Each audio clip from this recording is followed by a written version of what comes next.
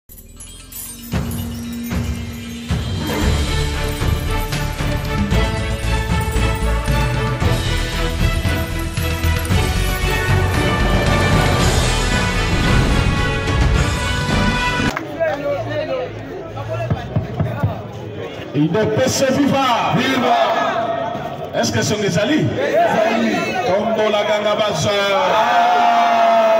tala loboko ya moninga wa kotombola te aza ndeko ya christian malanga tombola tombola ganga baza facibe udps viva viva facibe Ake to ake te. Akei. Aleli to aleli te. Aleli. Aleli to aleli te. Aleli. Sakana na bato nyonso me basi te. Basi nde makala. Makambo. Yo mona Fati na Genève alobi na tosi base na longoli signature na yo ozotelemela base okomi kolia na bakusin na bakusine okomi kolela ba makambu bato bakomi koadere na parti na présidence ya parti baaderaka na parti na se mais lelo bato bakomi koya na kati ya parti une semaine na permanence mbala moko mpe seya mais oyo babanda depuis 1982 wapi place na ba est ce que udps baza eyokani te udps viva il faut facha yoka parce que azolanda facha azolanda aza direct alabokaki depuis si 10 heures azolanda très bien il faut ayo ayoka udps viva viva tala moninga bien parfois aza na parti moko boyebi ke bacreye parti na lubumbashi bapesi yango kiabula me eza parti ya moto ya kinshasa parti wana ebimisi badepute ebimisi baministre meme fachatuni ce parti a été créé il y a combien d'années donc bino bozoya kayine mpe soki bocreye baparti na bino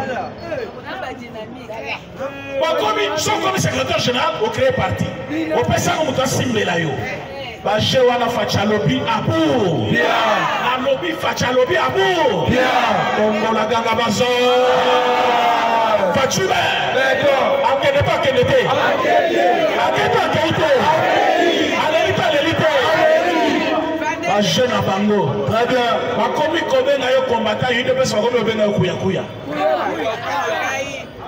ndako nini bino bomona meme na eglise katolike bato ya kala bazali bato ya sika mpe bazali mpo soki tozali kaka bato ya kala wana ntango bakufa eglise esali nini me parti ezoyamba bato yo mokonzi ya parti okomi kobenga bato bakoya ko ozo decourage bango to ozo encourage bango entre temps mbongo ya karte ozozo ozotya na po me yo olingi bango te ntango bazosomba karte pourkoi ozozwa yango mango ezokota na poche sikoyo oyo bandimi bazala bakuyakuya na parti onéglige bango okamati sikoyo mposi fo opesa meme baancien okoki kotekela yango bato ya libanda ye mokopesa mwa kakuyakuya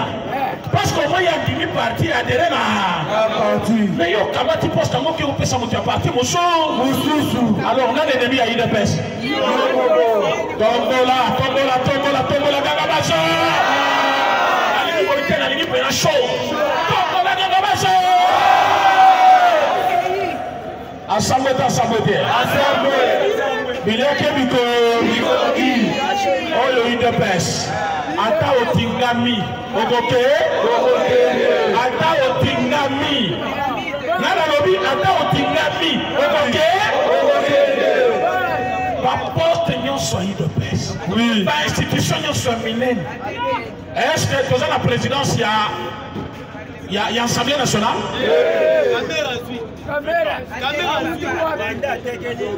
est-ce que kamera akokaki kozwa présidence ya parlement oyo ya sénat basi bapropose bino sama loko mais udps nde eza majoritaire na na sénat na udps ezalaka tala na pouvoir ou politique ezalaka jeu ya mawa te ezalaka question d'intérêt na sénat ya lelo udps aza majoritaire comment tokoki koperdre présidence ya sénat secret du chef soki meme alobi moto akozwa azala espace kasai te parce que président aza kasai est ce que udps ezalaka bakasayen basénateur nyonso baza kuna baza bakasayen toza basénateur ya baswahili te toza basénateur ya bandundu te toza basénateur ya bangala te mais bazali bamembre ya udps mieux vaut tozwa sénateur ya udps azela bandundu azala ya katanga azala ya wapi me azala membre ya uda sikoyo koma bokondima to perdre présidence ya sénat ah, c'est quel jeu baje mabe ani oyo akoki kozala yo ozali kogere famille na yo mais ozali koavantage famille ya kwa ya voisin oyo ya yo famille ozali koapprovisionne yango te mais provision otyaka kaka epa vwa voisin est ce que olingi famille na yo biso tozala basénateur na kati ya sénat tokoperdre présidence ya sénat mpo na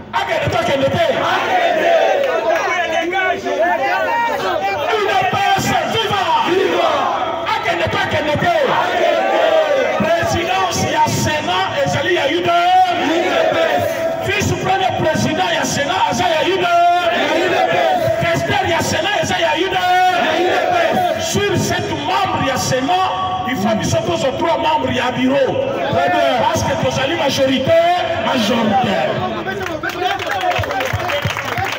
toyokani na sena kobanda lelo boyeba ke tozali kozwa présidence ya sena otobai te il faut tozwa vice premier président ya sena otobai te il faut tozwa questure ya sena otobai te oyo toza topedre wana ateki na ye ondire tozaki kibiba Ozalaki kidima me tokozala lisusu kidima bapasi nyonso etikali ine pesa aza parti au pouvoir parti au pouvoir viva viva nayoki yango te wana parti ya pouvoir te parti au pouvoir viva viva koma toza parti au pouvoir poste nyonso influent totekeli bapaya epui bapaya yango kaka bato oyo bautaki kote ya kabila kabila wana eza complot te complot ozali kozongisa kabila petit a petit te kozongisa ye koma okoki kozwa kaka soki bayaki batravaille na biso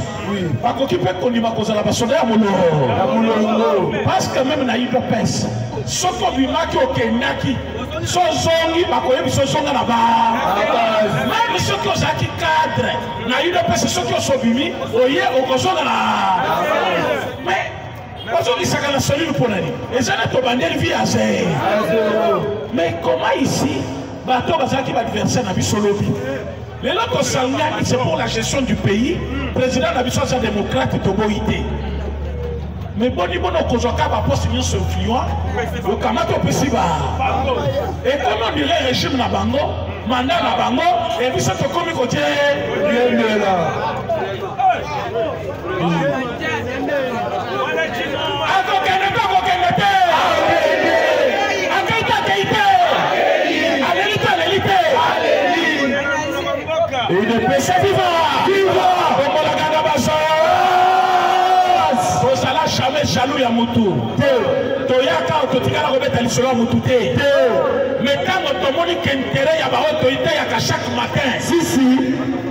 bato balamukaka 5 heures baya koyoka biso bazokemande 1000 franc bazokemande 2000 franc bazozanga boya kofuta bandako bamosusu bakabwani na basi pourtant parti ezali au pouvoir ekomi kosala biso mpasi ekomi kosala mawa makambo oyo niveau ekomeli lelo il faut komata te alors tombola tombola tombola tombola tombola ganga baso eyokani te tombola ganga baso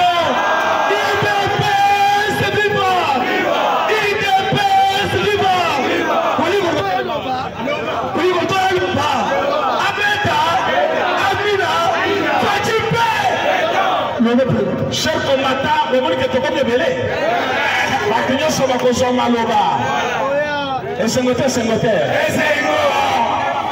bomoko bozali komona eza pamba te intérêt ya bakombata ife mona emonana totindiki motuka motuka epeli ifo motuka emema biso yo ozotindika motuka motuka epelaka te eza nini me motuka ezokende yo ozotikala okobengaka chauffeur te chauffeur te mema ngai sisi natindiki deja motu motuka totindiki motuka 37 ans motuka epelaka te eza nini epeli me motuka esetambulisi kilometre 6 esilaka te eza nini esili tokomi lelo kaka explication okokende to okokende te okende sikoyo nalingi nayoka yango bien eh. bazali nde mpasi baza bazali tokola ayebisi bino awa toza na neo apostolike te na ntongo sisi toza na mesi ya ntongo te tozobeta na parlement de debout bato baza ebele ezosala na somo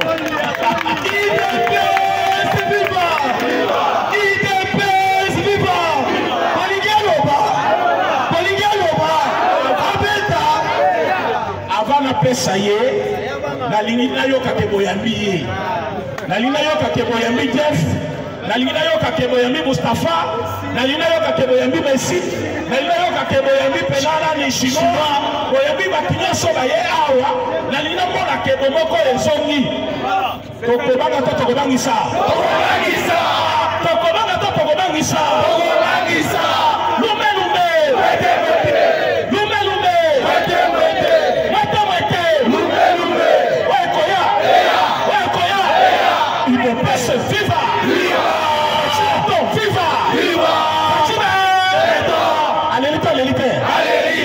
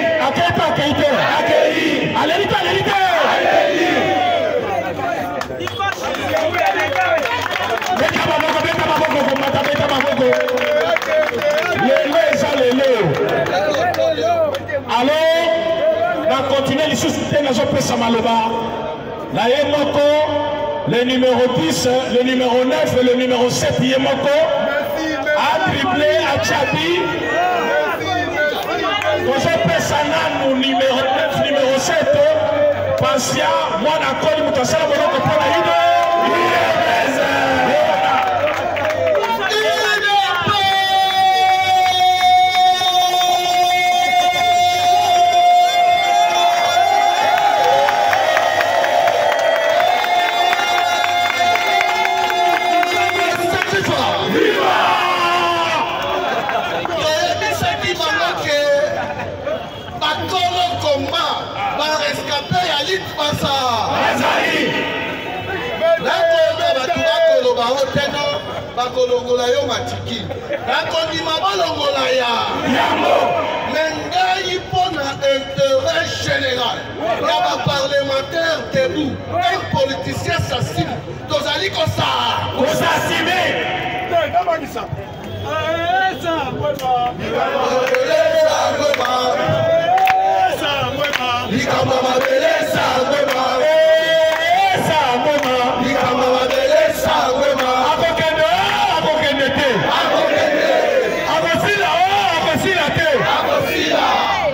Ayaki yaki na mboka.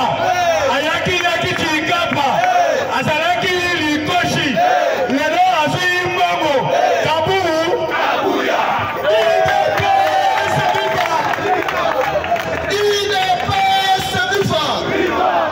Chers combattants, avant tobanda nanu kovusula bordure, nali koyebisa Na ba moutons noirs oyo bakotinda na zando. Si si.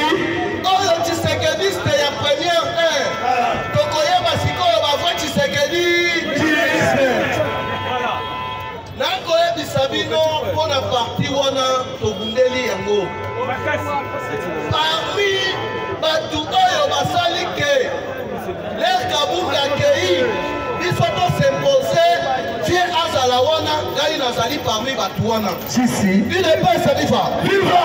Mais okomona bato oyo bakotinda na Katanga na anti-fraude bato mosusu. Ah. Mpona kozwa nanu matricule wana esengelaki nalo. Naloba. Non non. Tozali ba combattants. Eh.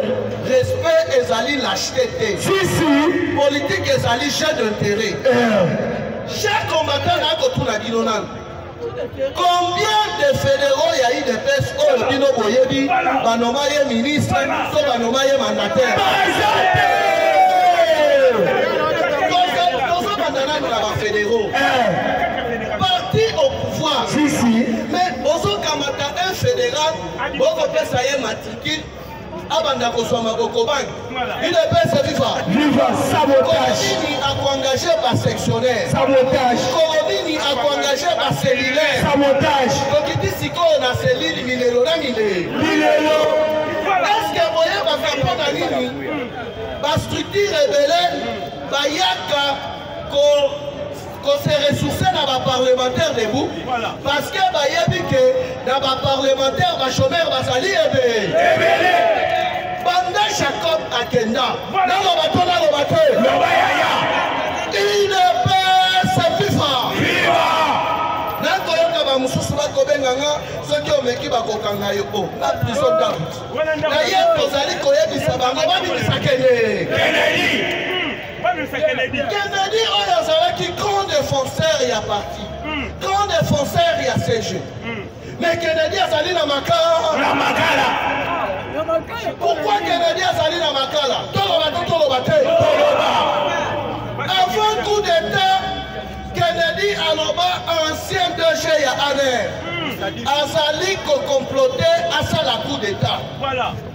bakanga kennedy wana avant kutu coup d'état ya christian malanga kennedy azali na boloko bakangeli ya nini nous honnête tshisekediste tokokufa ba tshiseke tshisekediste kabuya azali populaire koleka mavungu te le saint du dernier jour Udps viva! Viva!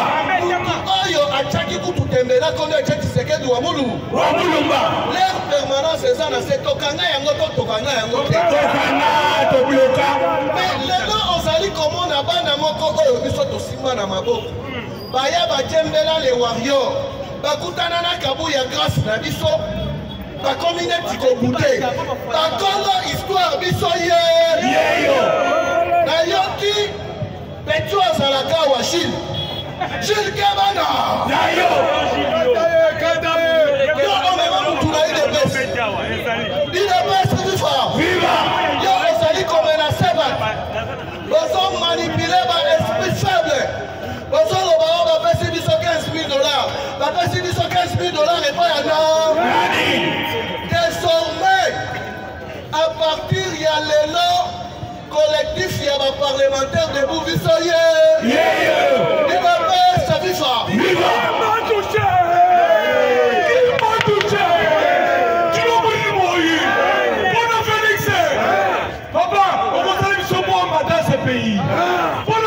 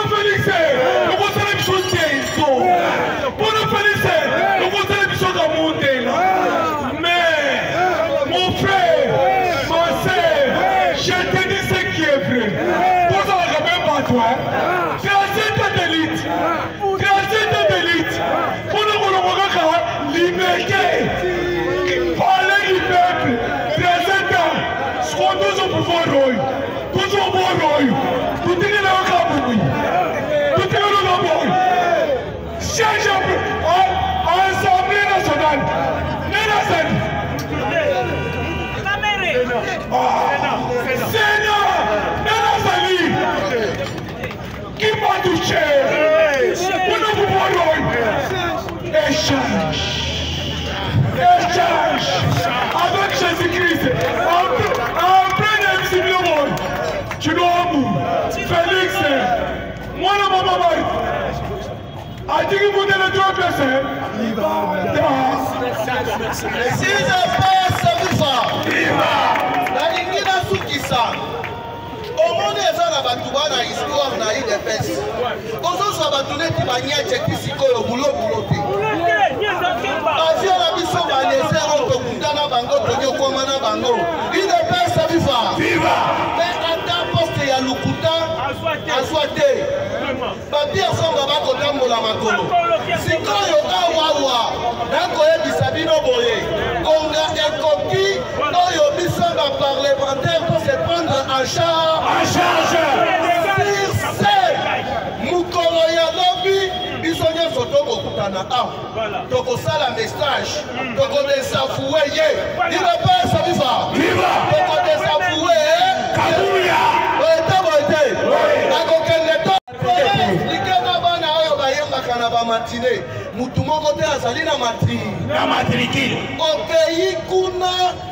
na permanence balerde nyonso ya permanence bakolela se kole kolela me mwa salaire ya moke oyo ozwaka okopesa combien de pe ezali mauvaise foi bino pesa viva viva soki opesi misala na échantillon ya mike ya baparlementaire me baparlementaire ebele bazali na chômage na chômage boye to boye te boye alors biso esengeli tokonza bawenze nyonso ya ville province de kinshasa soki biso na kisasa tokoleli sikoyo na bakongo bakoloba nini na lubumbashi bakoloba nini na kasai bakoloba nini alors trop c'est trop bamama na biso nini ya idps oyo tobunda na bango ligne de femme ya solosolo oyo oyoka banoma moko te moko te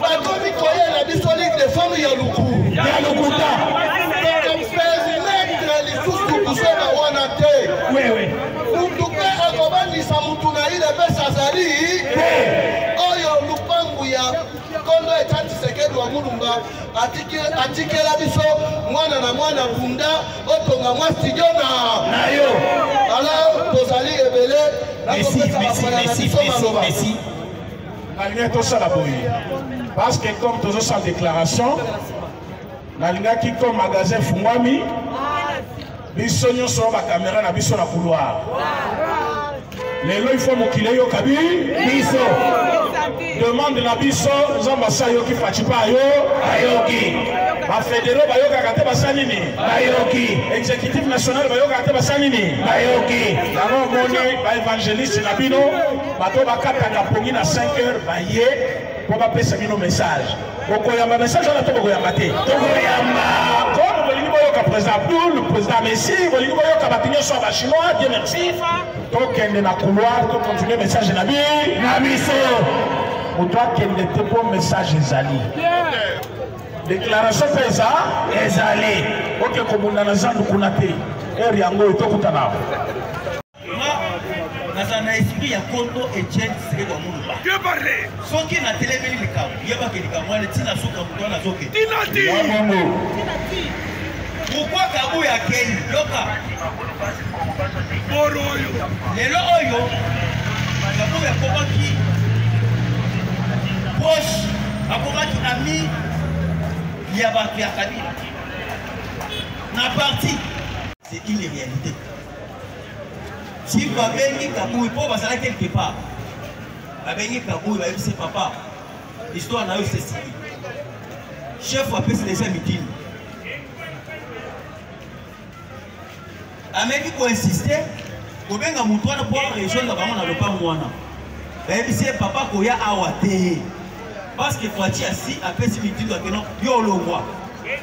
soki oza na mposa kokota boloko te kokota makambo ya parti politique ya idps te après ainsiste nde moto wana olobi sava naso ya wana ntango akei esika kabu azalaki bafandi babandi kosonga ayebisi kabu yake oza déjà ancien secrétaire général ya idps ne compte pas que tu es secrétaire général ya udps okay. parce que page na yo eza déjà tout et aussi udps viva viva bala moko akei ntango azongi yango oyoki basali déclaration lobi epai ya banationaux kosala déclaration badésavoue kabui et présentement toza deja na sino oyo ezali na mesa ya faci mpona un nouveau secrétaire général ya parti ya udps udps viva viva imaginez vous parti au pouvoir un fédéral azobeta makolo parti au pouvoir un national azosala na mbongo ya transport biso bakombata tozosunga ye na sala na mbongo ya transport parti au pouvoir cellulaire incapable ya kofuta ndako ata ya 20 dollar maintenant omona baposte moko stratégique ozokamata yango kozokende kopesa bato ya pperde bato baza deja na bamillion yo oza kombate ya idps yo ozali fédéral ya idps okoyebisa bato makambo nini lisolo nini okobetela bato ya kino oza parti okufa nazoyebisa bino omoni lelo bato basekaka biso bakoka te ya udps eza batoseka biso makasi kaka bato ya fcc wana nde basekaka biso ah, yo kombate ya udps oza na nini yo kombate ya udps ozali fidele ya udps wana kufa oza na nini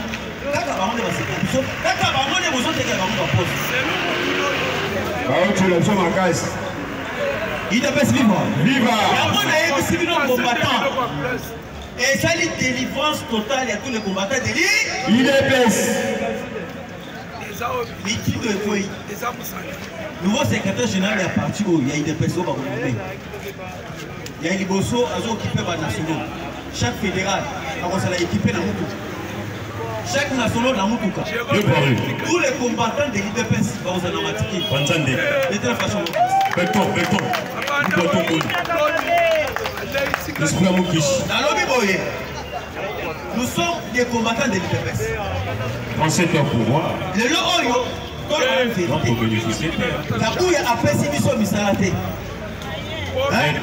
bakomate bakoloba nini nani apesi bango misala te c'est présent dans les alesina kitoko alikuti na lobo et en plus soki fati alongwe na pouvoir azongi na parti tant que président de la république président ya parti combatani na bokondimela fati soki fati apesi mosala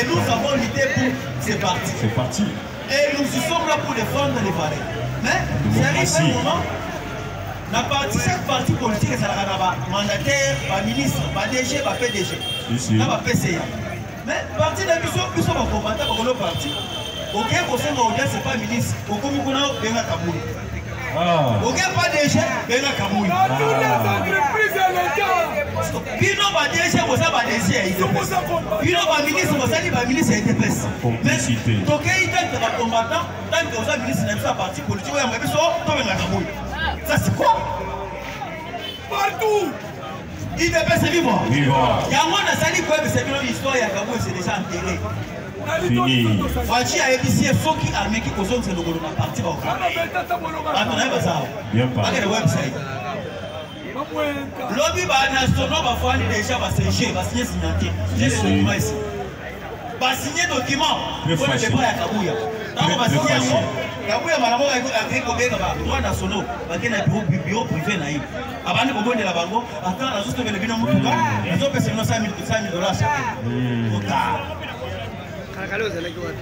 na bato na yo bazala pembe na Kabuya wana ba assiste na réunion ya lobi ba signer pe pétition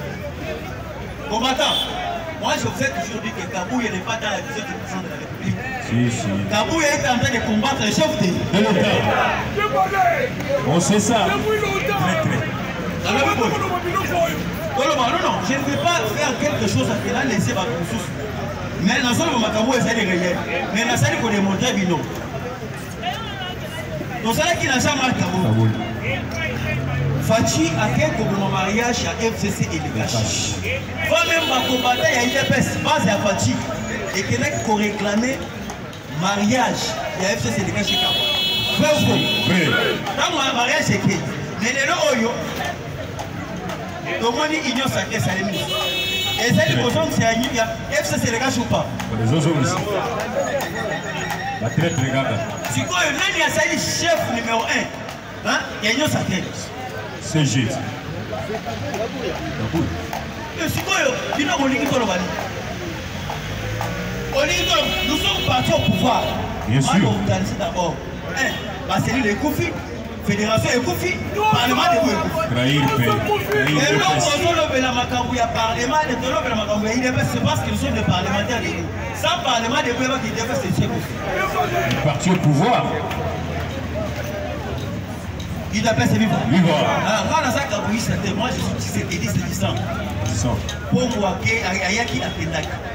Jacqueline ayaki akendaki moto anda mpe ayaki akendaki namoni mpe ayaki akendaki mais moi je suis tshisekedi chistan soki ozosala politique mpo na baindividu etali yo sala politique mpo na parti politique C'est ce qui a fait tuer beaucoup de combattants de l'UDPS.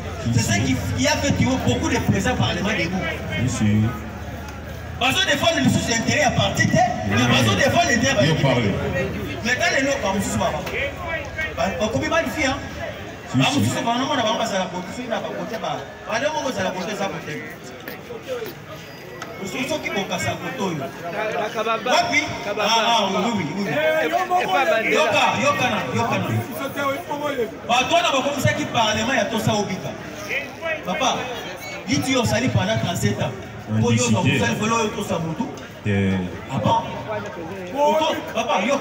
kotosa wana esali na systeme moko ya bakisi azoyebisa bino mpe tosa obi osososola te na tosa nini kombo ya moto akakarasi yokana mito tosa obika me biso tosi etienne tshisekedi wamoluka mpona koaa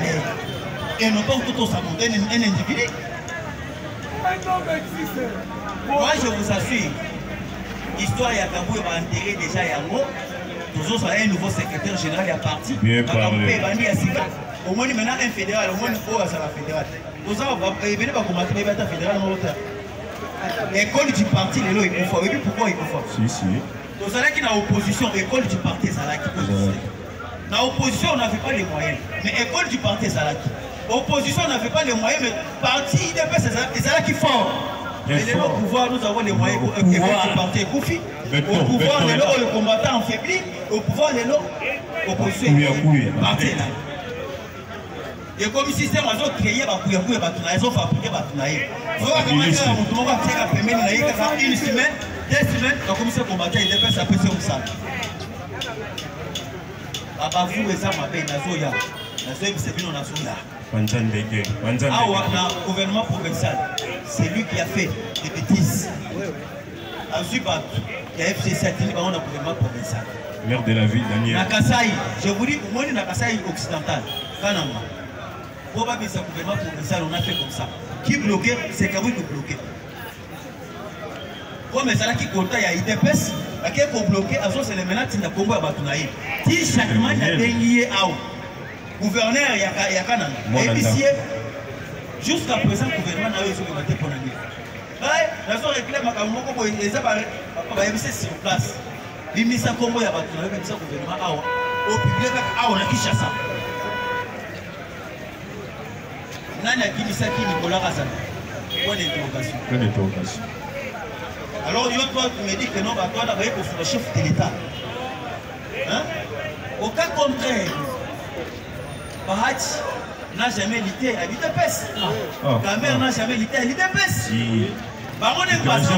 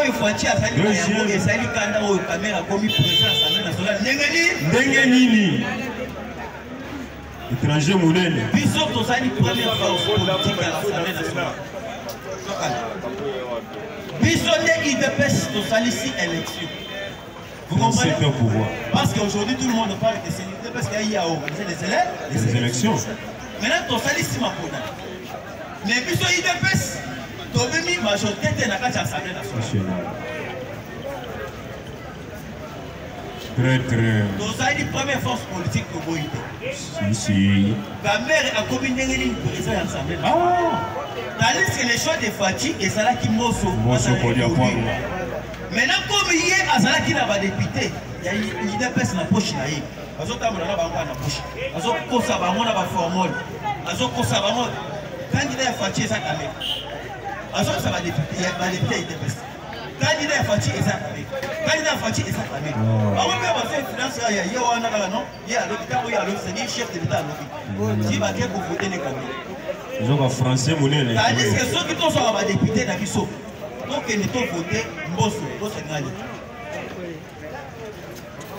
tokenda na lubumbashi yoka na lubumbashi ezali zone moko baelimi bazali kodestabilize yango oyebi ke john numbi bazali na tanzanie bazali na zambie plito baza na susi mena baambuye faci babeti kote ya lubumbashi babeti kote ya kasai parce que na kasai baona detecte le m23 précisément na lomami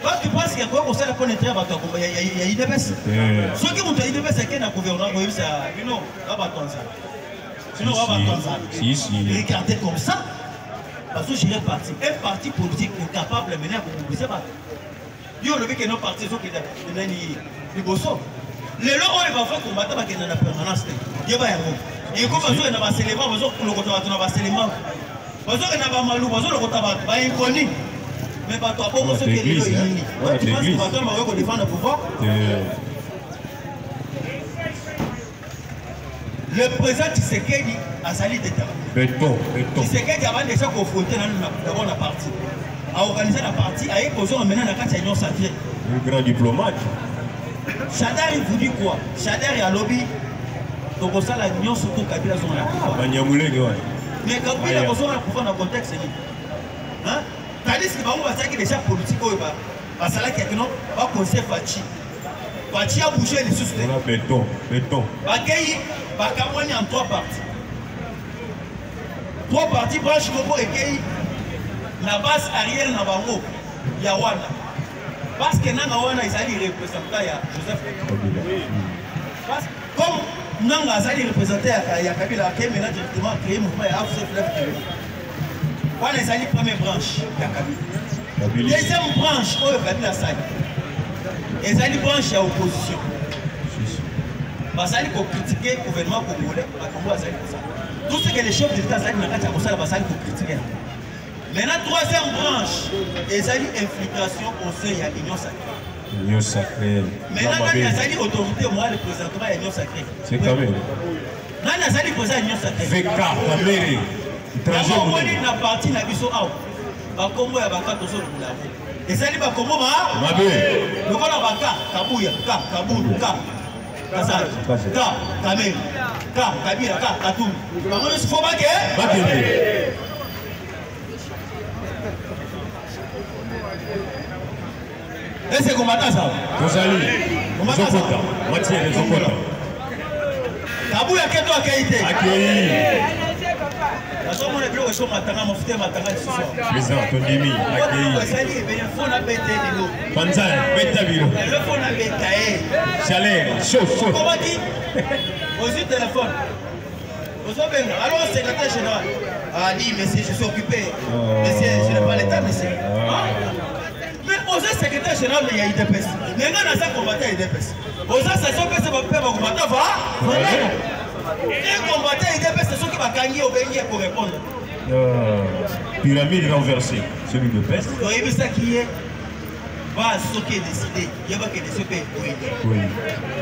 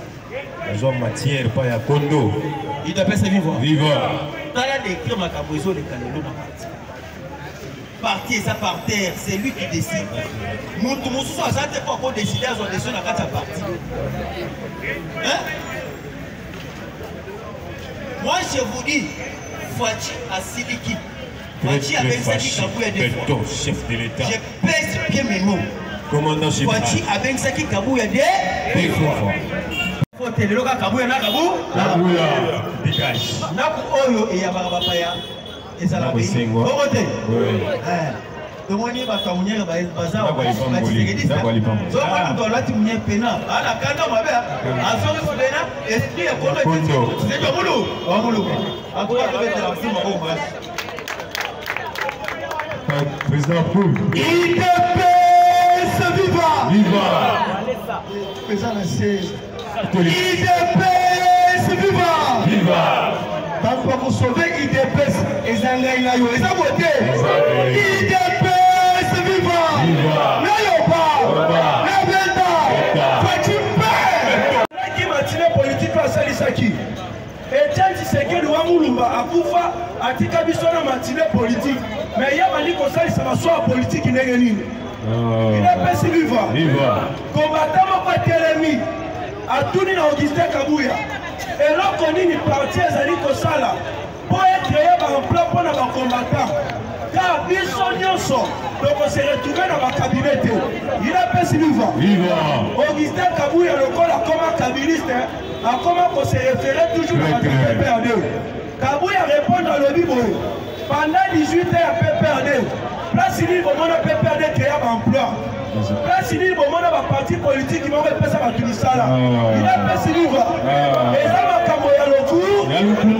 otala sikoyo contradiction Après kobeta maye oyo alobi wana akomi ko présenter oyo napesa ye mosala oyo napesa ye mosala oyo napesa ye mosala mais soki parti politique ekoki kopesa na moto mosala te ndenge nini wali kolakisa biso topesi bato misala bato oyo olakisi biso mpo na nini olakisi biso mpe ya ppr te ebongaki obenga mpe ya ppr nde baya kuna olakisa biso ya mpe Mokonzi ya mboka aboma FCC Cash, mais Kabuya azongisi FCC Cash, mais na forme ya Union Sahara. Yes.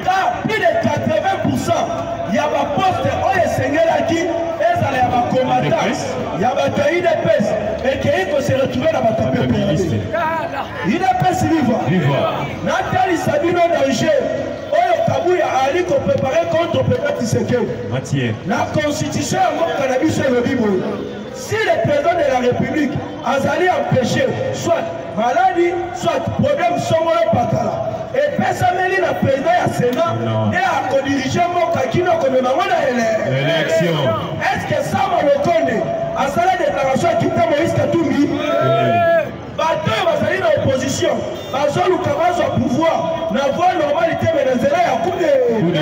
Sikoyo soki basali yango pouvoir ekepa na bango te.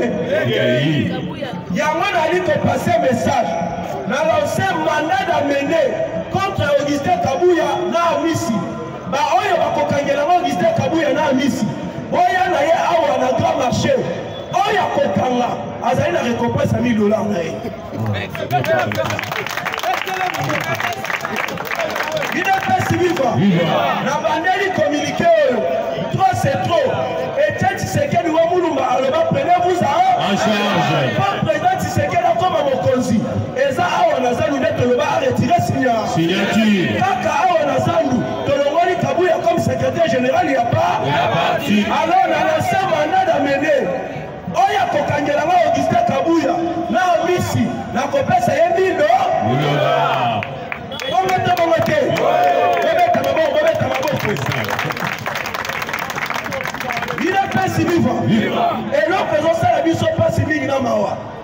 bato oyo ba se retrouva ba ministre baleka na nzela ya competition moko te balonga te me mokonzi ya mboka nomaka bato ndenge nini lokola ye nde moto ali kogere parti te epesamelaka secrétaire général ya parti azwa bakombo ya bato ya parti atinda buke mokonzi anome ye epesi viva ye alobi parti politike epesa bato misala te ah. na demontre bino makambo alobi eza ya lokuta ah. exemple na face ya palais du peuple omoni centre culturel ya monene obali kotonga le plus grand centre culturel ya monene na afrique centrale oyo obali kotonga wana soki ozwi motu ya ndako ya udps otie ye kuna ye akozwa bakombata te moto oyo akoyeba mpasi na yo eza moto oyo elekami nzela na yo ina mpesi viva omoni ndeko nango ezoteka bachanse moto oyo akoyeba mpasi na eza moto azosala mosala moko na ye soki ozwi moto ya udps otie quelque part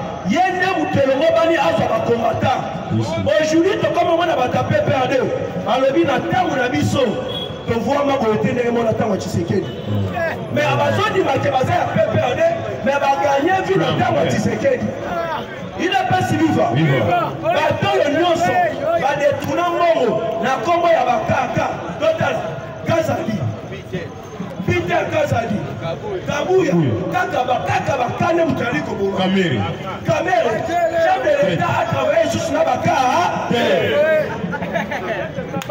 Bongo te bongo te. Chef de l'Etat a travaillé juste na ba cas te. Vrai ou faux? Vrai. Na minute oyo bomoni na la police eza na bitumba eyali kobukama na ndenge ya mabe entre general ya lemi na oyo azali komanda ya ville ya kinshasa blaise kilimalimba udps viva viva matie bapolisier ya blaise kilimbalimba babomi bapolisier ya leni major moko amemi banzoto na bango akei nango na moko oh. general manya mike abengi major wana tuni ye bato oyo bobomi bango mpo na nini bango balobi bapolisi oyo bayibi 400 dola bayibi 1 million 800 000 francs na batelefone General Maya Maki atuni oh. wapi babiloko oyo bayibi babiloko ezomonana te ndenge balobaka komba ya banzoko eza banzete na matiti nde monaka pa botala toujours bapla yali kolekana na polise na commissariat général babengisi général eh, mike aya na 500 policier eza na ba policier oyo lemi est formé à partir ya ndolo bana batikala batikala kopesa bango mission moko te nde ah. ye akamati 500 policier abandi kosala contrôle oyo aza maladi moye bazwa ye batinda ye eza eza te na contrôle wana esali ete bazwa 400 policier oyo bazali malamu à l'époque ya peter kazadi ministre de l'intérieur General, commissaire general alonga boli azwaka 1500 policier mosusu na lubumbashi mosusu na kalemi mosusu na matali idps viva general manyamai aye na bapolisier kati apesi na oyo azali commissaire general ya la police alonga boli alonga boli amemi bango na aéroport ya njili apesi ya chacun 50 dola 50 mpo bakenda niveau ya bukavu ina pesi viva lokola baana bituba entre bango na bango bake koluka journaliste moko bapesi ye mbongo anyata général ya lemi manyamai oyo adetourne mbongo bapolicier mais chance grave moto ya geraka mbongo ya lemi ration na équipement ezali commissaire général alonga bo so moto ya geraka te akoyiba ndenge nini tomoni sabotage ali kosalema yango toali kobeta sete elongobani na mokonzi ya mboka anome bagénéraux na ye moko acreye baoyo aye bagénéraux meme la bible dit on ne peut pas servir de maître à la bagénéraux oyo base retrouva liste eute pa kagame museveni denis sasuesu euh, jean nani jean pierre bemba joseph kabila baza redevable na bato bakomisa bango bongo na arme ezalaka bongo eza lokola yo osali baane ebele oluka matikili ozwa yango te soki ozwi matikili na nzela na ngai ti na yo mobimba okozala redevable na ngai bango bakoma so babengi jean pierre mpe babengi alo monsieur le président peut-être seke nabengi alo monsieur le président alors boza na combien de près si mokonzi yango kabimisi bagénéraux na ye moko akosala équilibre mais botala sikoyo ejebetamaka ekomi ntango ya komatisa ya kobimisa batindaka bakombo ya bato na bango batindaka na bakombo na bango moko ata mokonzi abimisi oyo ya ye oyo ya ye bakozala kaka na nani moko bango bakomi nango de bakomi nango 3 vedi baza kaka likolo baoyo ya chef abi abimisi omoni stratégie ndenge ezosalema joseph kabila aboma mboka oyo mpona na chite mpona na chite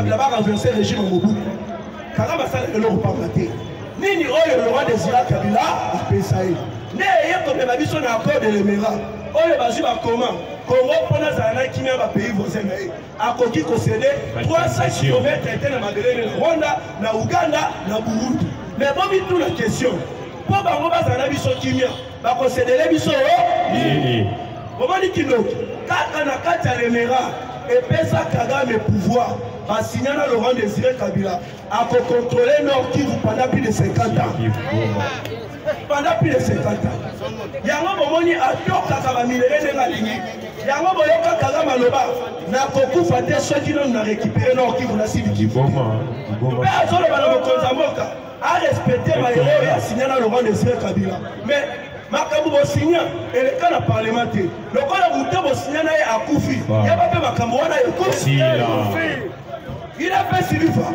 Nali kosenga na chef de l'État. Trêve humanitaire doit respecter en moté. Et eh. ça pour l'intérêt de Bissot, ça pour l'intérêt à Wanda. Au moment où trêve humanitaire est au Salema, le M20 va récupérer le village de Nord Kivu. na minute oyo nazoloba na bino totire très attention goma ekokwea peter sirimiami azali fui ya mixage et passage bato bauta na rcd me ye wana batie gouverneur ya nord kivu hmm. dernièrement aute kokanga chef ya bawazalendo apekisi na bango moto abunda te baoyo bakobunda tokoba na koboma bino moko nsima na moko oh. il apesi viva peter silimiami aza de complice na ba m23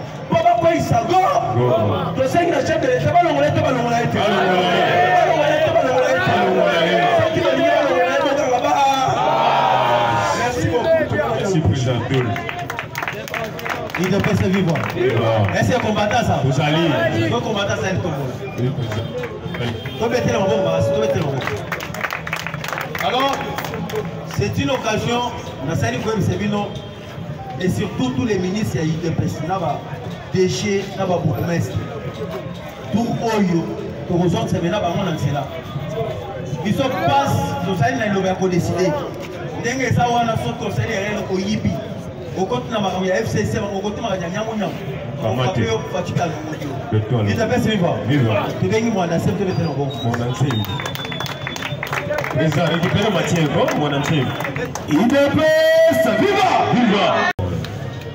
Idepes viva. Viva. Idepes viva. Chers combattants d'élite tombola nano loboko tombola loboko ganga ba. ere tolobaka chaque ntongo mitema esalaka mpasi pourkui tozoloba mitema ezosala mpasi ere tozolinga bitumba esila na est mpasi basoda oyo babundaka na est wana baza bapapa mosusu atiki bana 15 ans mosusu atiki bana 10 ans bana batikala omona papa na bango te un jour baza na mposa mpe bitumba esili papa azongi mpe bana bamoni mpe papa et il y a d'autres meme bazokufa na bitumba na akufi yake bana bayebi teke papa akufi soki abatami likoso ekotikala liba lisasi ekozwa na liko idps viva eske yo tikali omona kabuya na monyere monyere ekofanda bie te likoso eza mola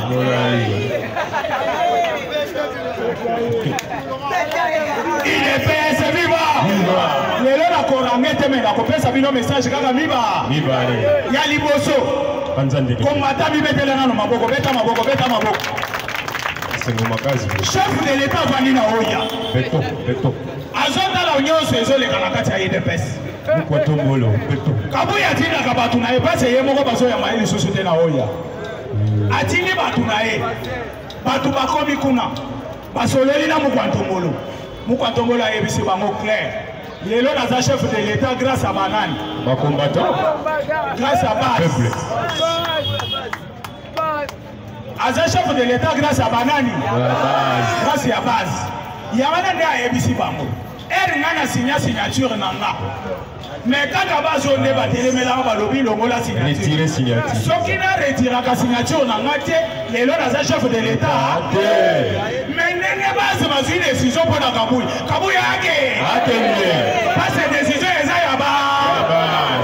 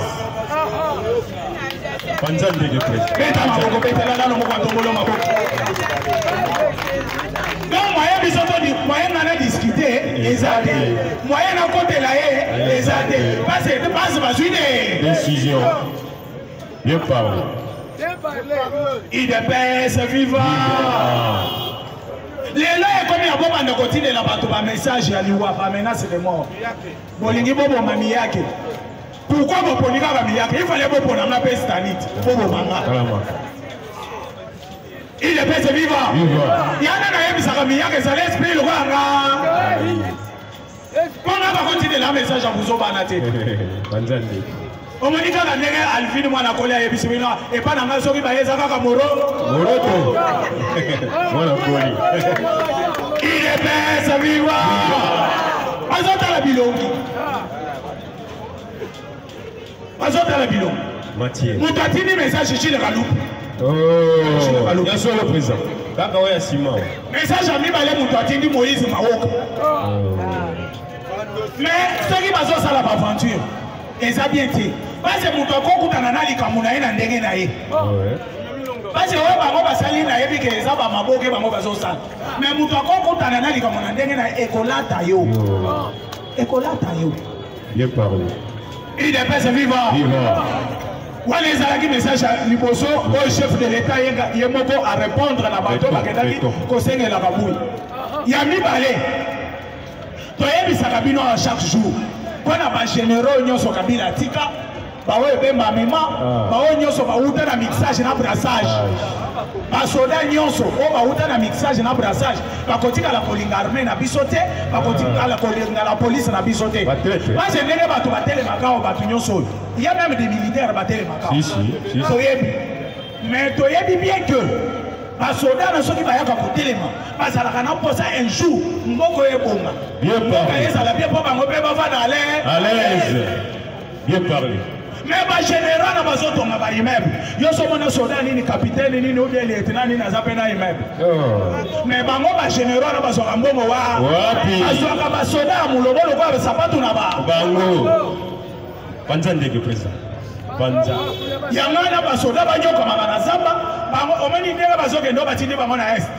bango baza na goma na bahotele na bandumba na bango bazozwa na plan mabe basoda nde bazoyotola malili kuna na zamba toyebi baza na bachambre ero ya bahotele balali olini toye opération opération bango baye ya kobima na basi na bahotele nde opération bango baye osala matière matière président mais soki otali azoloba na kata nakata bolobi nakata baboyi il est pese viva viva cher commandant d'élite mpo na chute mpo azolela déjà mpo na chute bagénéraux nyonso oyo chef de l'état auti olongola bacolonel anome bango bagénéraux baza na bitumba na bagénéral bagénéraux nyonso oyo batikela biso epa kabila Problème na bango ezali bango bazala kaka wana au top mpo babanda kokonza baoyo baye sika. Nde omoni kuna na lemi ozomona bapolisier lelo bakomi bapolisier ya commandant de la ville parce bango nyonso baza unité moko te bakeye kobeta bapolisier alemi masasi babomi bapolisier alemi oyo tozobenga opération moko ebimaki awa ezali pate babeti bango masasi mais ere babeti bango masasi balobi nini bapolisier ya panter wana bayibaki mbongo bayibi telefone bayibi mpe soki na nini mosusu babakisi bazwi bibembe mbala moko bamemi na morte nde sikoyo général kabe ya era ye oyo aza ya bapanter atuni bango babetaki bayibaki wi mais ndenge bobomi bango je pense bien ke boza na mbongo bayibaki na biloko bayibaki o te mais biloko bayibaki oyo bino bobeteli bango masasi eza wapi okomprendre sikoyo place wana sikoyo nde place mabe ezokomi mais ere sikoyo bato bazali kosala babuso boyo de l'autre côté nde biso na kati ya idps Kabuya azali koteka ba poste, azali komema ba generaux wana o wana kaka bakombo na bango na ba papier kolobela bango de façon ke bamatisaka bango kaka ba grade nde omoni nauti koyebisa bino depuis azage secrétaire général atikala kokende est de la république te mpo ayebi soki akei na est de la république ere masasi ekobanda